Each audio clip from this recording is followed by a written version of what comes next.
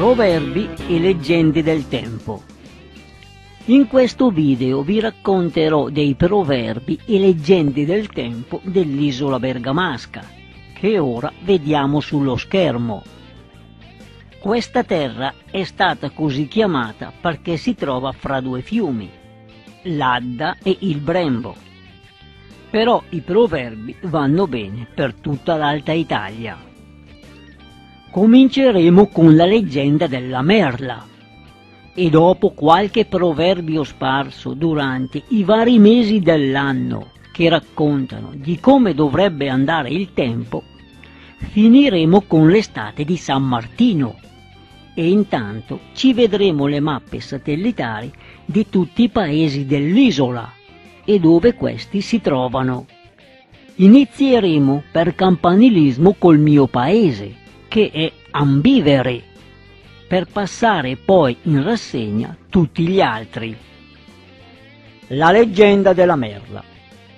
Gli ultimi tre giorni del mese di gennaio e i primi tre di febbraio sono detti i giorni della merla. Tanto tempo fa, un mese di gennaio fu particolarmente caldo e i merli quel tempo erano bianchi e del candore delle loro penne ne andavano orgogliosi.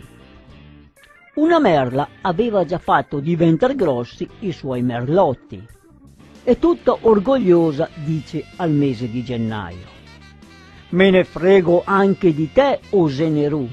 Io ho già fatto diventare grossi i miei bei merlù.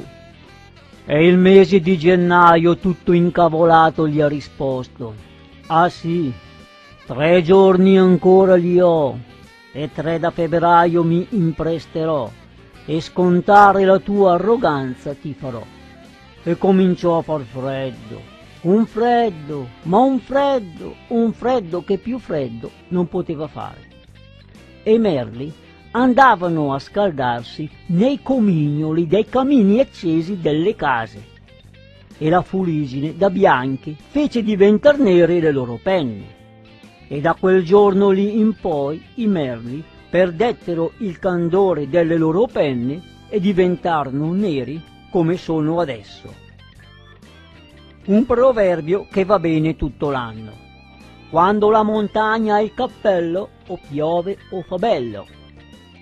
Per quanto riguarda la neve, invece, se per San Mauro non ci sarò, per Sant'Antonio non mancherò. A Sant'Agnese, le lucertole sono nella siepe.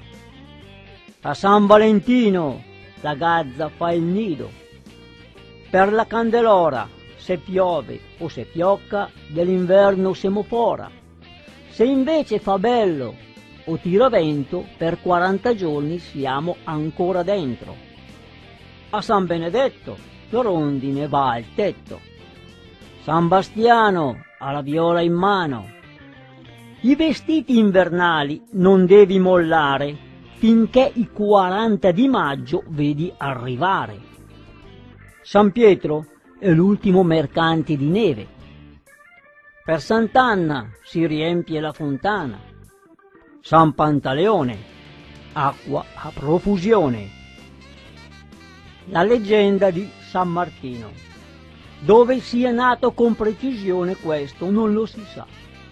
Di sicuro invece è che fu figlio di un importante ufficiale dell'impero romano, che volle onorare con il nome di suo figlio il dio della guerra romano Marte, e di lì Martino.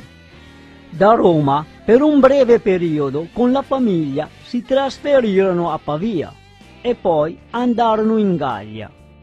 E lì Martino, quando era ancora un semplice soldato, mentre era in servizio, in una nebbiosa e fredda giornata dei primi giorni di novembre di circa 1800 anni fa, incontrò un mendicante quasi nudo e tutto intirizzito dal freddo.